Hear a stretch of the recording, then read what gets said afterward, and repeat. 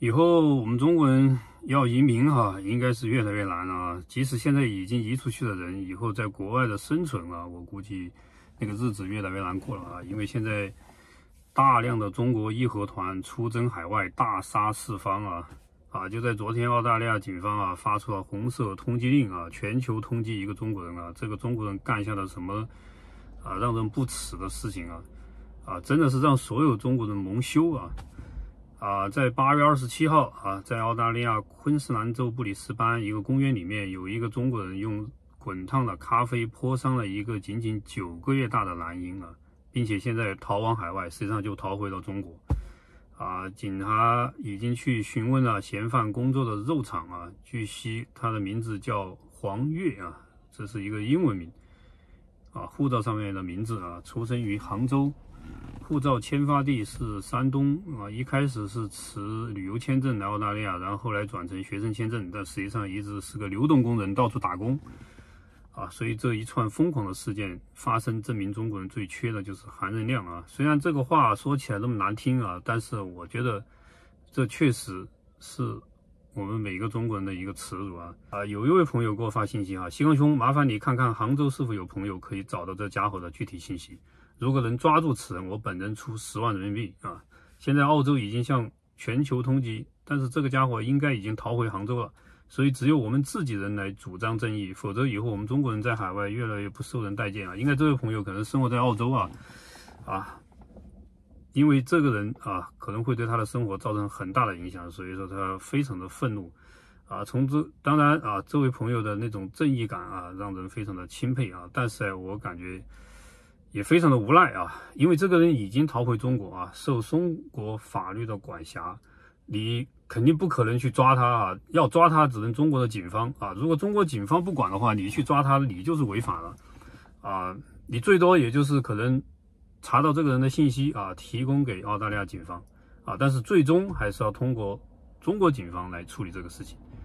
啊，据说很难啊，因为说中国跟澳大利亚之间没有引渡条款。啊，大概率这个人可以逍遥法外啊，但是对中国的形象啊，对于中国人在海外的形象啊，这是无法挽回的一个损失啊，并且这种现象不是孤立事件啊，现在已经层出不穷啊，就在前两天，在瑞士啊，也发生了一起二十三岁中国男子在瑞士苏黎世持刀砍伤三名男童，其中一个人伤势严重啊。真的，这种事件前不久啊，在深圳啊，又有一个中国男子啊，杀死了一个跟着母亲去上学的日本男童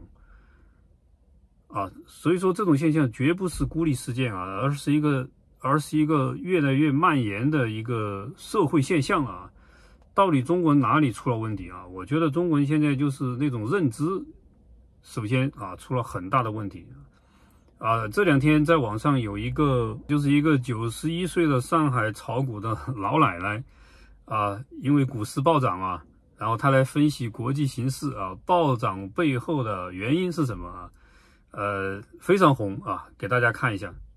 这两天股市涨到三千二百多点嘞，真的，不涨的。又不咋不涨，我摸着行哎，股市还有点涨呢，还有点涨呢。这次是一个大的生日哎，我们跟美国贸易战已经打了六年了，我们这次生日了，真正的这个外资都进来了，国际上的是流动的资金进到中国了，要买中国资产，大喊要买中国资产。现在放到美国面前的就两条路，现在减息他已经做了，后果已经出现了，他要再想把再调整，那就加息，加息加速他的灭亡。第二条路，那就是美国会发动战争。我们根本就不怕他。我们最近发发现的是洲际导弹发射成功了。见到这个情况，他即刻就冷静下来了，他不敢发动战争了。我们有强大的实力。现在国际上那个流动资金非常多，都在观望。但是国际的形势风云变幻莫测，就是股民朋友要引起注意，慎重的选择，要相信自己的判断，呃，相信自己的选择，千万不能追涨杀跌。实际上，大家还真不要嘲笑这个老奶奶的认知啊，因为现在中国的。百分之九十以上的官员、呃学者、教授、社会精英啊，都是这样的观点。呃，包括像我上次视频里面，我还引用了啊，疯狂英语的创始人李阳啊，在中国也算是一个知识分子啊，一个社会精英啊，一个意见领袖呃，我以前看他的发言不多啊，但是上一次啊，他谈到中国充满的金融骗局啊，全世界的骗子都在中国啊，因为没人管。哎，我觉得他的还啊敢于直言啊，还有自己的见地啊啊，但是没想到啊，他的认知水平也就这样啊。最近又看到一个关于他的一个视频，英语就是汉语下的蛋，美国迟早会成为中国。不可分割的一部分。大家手机录一下，我用中英文说一遍，发到视频号、抖音号，绝对一千万点击量。手机拿出来拍摄，准备啊！中英文对照。我是李阳，我坚信，只要中国教育强大，美国迟早会成为中国不可分割的一部分。I believe. Sooner or later, America will become a separate part of China. China will win. 最近几年哈，我明显发现啊，中国那种有自己独立想法的啊，有见地的那种专家学者越来越少啊，啊，逐渐逐渐司马南化啊，大家都向司马南看齐啊，啊，水平也逐渐无限靠近司马南啊，呃。实际上还有一位意见领袖啊，我以前也经常提到啊，叫陆克文啊，号称是中国三大意见领袖啊，也是粉丝上千万啊。呃，就在前不久，我呃在他的账号下面啊看到了一个他发的微头条啊，当时让我就很吃惊嘛，因为以前看到他发的那些东西啊，都是什么大国崛起啊、民族复兴啊之类的啊。啊，充满着民族自豪感啊，充满着民族自信啊，啊！但是他这一条啊不同凡响，呃，并且他还在下面说啊，这一段封我号我也不删啊，呃，他作为一个正能量的一个红人啊，为什么还有人来啊删他的号号呢？啊，删他的内容？哎，结果现在他这一段还真找不到了啊，因为有人当时啊把它转载了啊，所以说我找出来给大家看一下，他说的什么内容啊？就是二十多年前，有些人纵容治安队欺负外地人，就是在广东啊，剥削外地人。他们手持铁棍堵住街道两端查暂住证，一言不合当场撕掉外地人合法暂住证。半夜像恶狗一样砸农民房的门查暂住证，门开晚一点就辱骂我们。他们还敢当街拿铁棍殴打外地人，啊，今年他们终于开始遭报应了啊，呃。他的遭报应是什么意思啊？就是在最近啊，广东省东莞市原市委副书记、市长啊接受啊审查调查啊，也就是说被抓了啊。关键是这个人已经七十一岁了，已经退休很多年了，为什么现在才被抓？啊？因为他以前劣迹斑斑啊，罪恶深重，深耕家乡东莞四十四年啊啊，那些什么治安队呀、什么联防队都是他搞出来的啊，以祸害外地人。呃，让当年啊去广东打工的那种外地打工仔啊闻风丧胆啊，啊犯下的那种罪行啊，我后来在网上看了一下，真的是令人发指啊！当年什么日本侵华啊那种日军的暴行啊，我觉得跟这些人相比的话，呃，实际上也不算啥了。我觉得后来啊，有一个大学生啊，本来有正当工作，然后也是被送进了那个收容所，最后被活活的打死啊。遭到了惨无人道的虐待啊！后来这起事件曝光了以后，全国震惊，然后从此以后啊，那个所谓收容制度啊，才逐渐啊从中国逐渐消失啊啊！即使连陆克文啊啊，现在号称青年才俊，当然他也四十多了啊，好像一路是那个春风得意的样子，但是从他的心灵深处啊，也有一段噩梦般的记忆啊，因为当年他只是一个中专生。啊，在广东也是一个打工仔啊，也是住在那种城中村，每天晚上啊，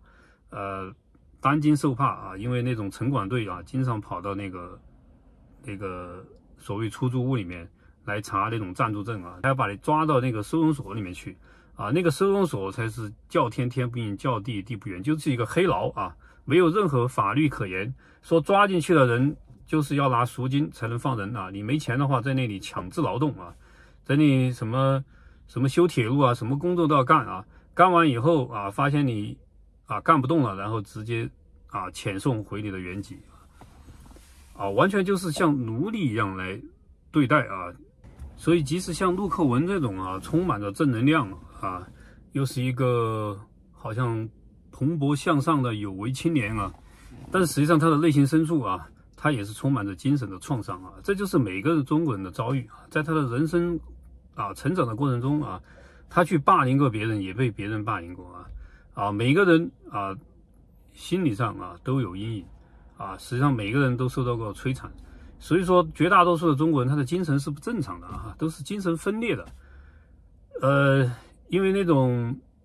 年轻时候的那种创伤会伴随他的一生啊。即使像陆克文，他现在这样春风得意啊，但是回忆起从他的字里行间都能看出啊，当时的那种惨痛的经历啊，我都不敢带小孩到商场里面了，因为那种神经病现在太多了啊。就在前不久，上海。啊，中汇中路某超市有男子持刀伤人啊，这个人被抓住了，三十七岁，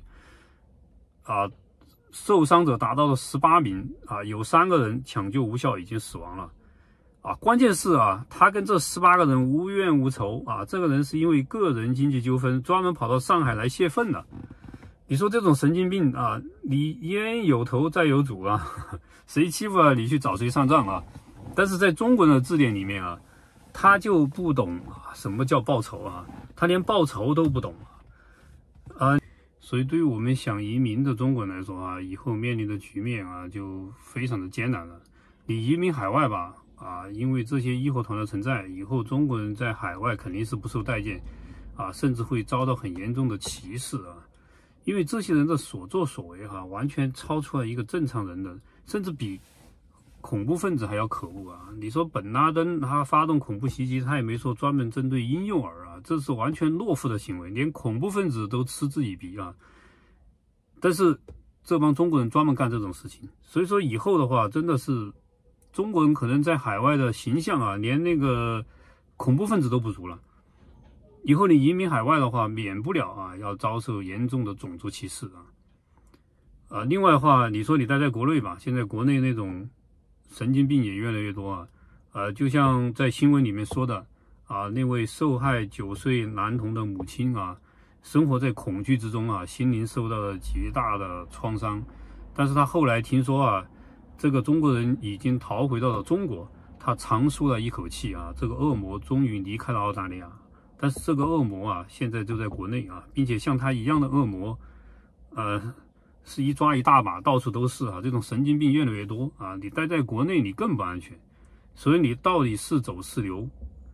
啊？真的是非常头痛的一个问题。好，这期视频就分享到这里，谢谢。